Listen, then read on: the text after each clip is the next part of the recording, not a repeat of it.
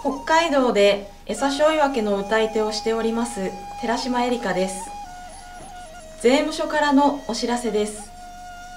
今年はスマホとマイナンバーカードで自宅から確定申告。納税は振替納税などのキャッシュレス納付がおすすめです。